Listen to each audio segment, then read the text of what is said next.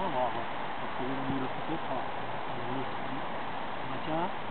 Ok. On regrette légèrement. On prend la balle. On la ramène légèrement sur le côté. Allez, même chose. Garde la main sur la balle. Sur le côté.